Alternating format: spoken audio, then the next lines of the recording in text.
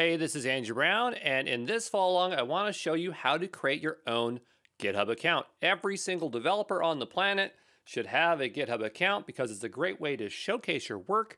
Uh, we'll talk about that later, but you can see that I'm already logged in here, so I already have a GitHub account. And what I'm going to do is log out, and I'm going to create a new one from scratch. So here we can see uh, we can have multiple ones. Um, I'm going to just sign out of all of my accounts here. And let's go ahead and create ourselves a new one. So I'm not sure. Remember I told earlier, I told you they're like the leading AI-powered developer platform, which is such a silly term. But um, let's go ahead and see if we can make a new one. So just in case it's the future and they've changed this homepage, I'm going to go up to sign up. And I'm going to see if I can make an account, if I can find an email that has not been used so far. So I'm going to type andrewexampro.co. If you're using Gmail, so I can't use that one. If you're using Gmail, you can use like plus signs to um, create multiple ones. So like my really, really personal email, don't email me because I don't ever check this one, is like omenking at gmail.com. You'll learn that my username on GitHub is omenking. Why it is that? I don't want to talk about it. It's like forever ago. I made this account like so long ago, and I really wish I could have got Andrew Brown as my username, but that's not what it is. And so I'm just gonna go here and say alt. Okay, so this is a trick with Gmail that you can do. You can put a plus alt on it or uh, maybe a minus, I'm not sure. But let's go ahead and see if that works. And I need to create a password. So I like to generate really strong passwords. Um, you can use whatever you want. I like to use, hold on here. I like to use this site, which is the uh, password generator plus, passwordgenerator.net. Um, I should make a disclaimer if this isn't secure, don't use it, blah, blah, blah, but I'm pretty sure it's fine. So I'll usually go like 24 and get a nice long password. Um, and I'll just generate a few different ones off screen here and I'm going to enter that in, okay? So just generate out a few and I'm going to drop this in on here. Okay, we're going to hit continue. Says it's strong, that's good. And then I got to choose my username. So I probably can't get Andrew Brown. And um, so I need like another name. I'm gonna try Durano. Not available. Uh, that's like my game uh, gamer uh, uh, tag on um, Steam. So what's another one that I could have? Uh, we'll just say Andrew Cloud. Can I get that one? so hard. We'll just say Andrew WC Brown. Can I get that? There we go. WC is my middle initials. It doesn't stand for water closet, okay? I know it looks like that. We'll go ahead and hit continue. I'm gonna hit continue again. And so now what I need to do is do this verification. Please solve this puzzle so we know you're a real person. Uh, verify?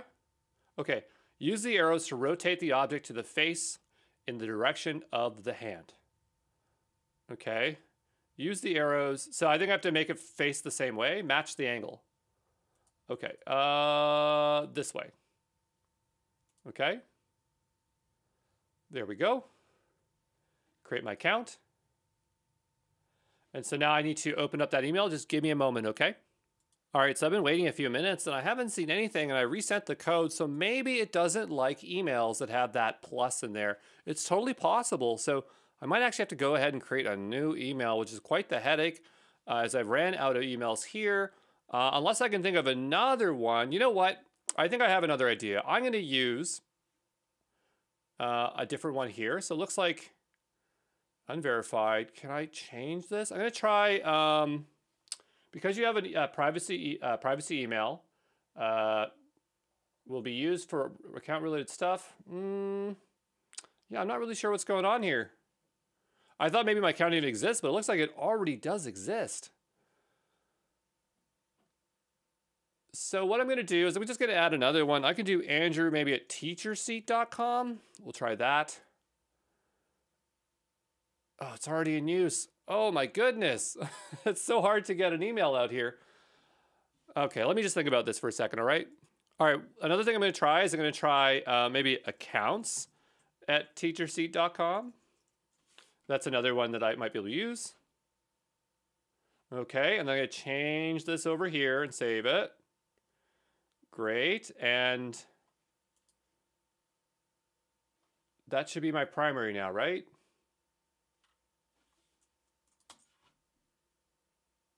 Oh, it really wants to send it to this one. Maybe what I can do is I can click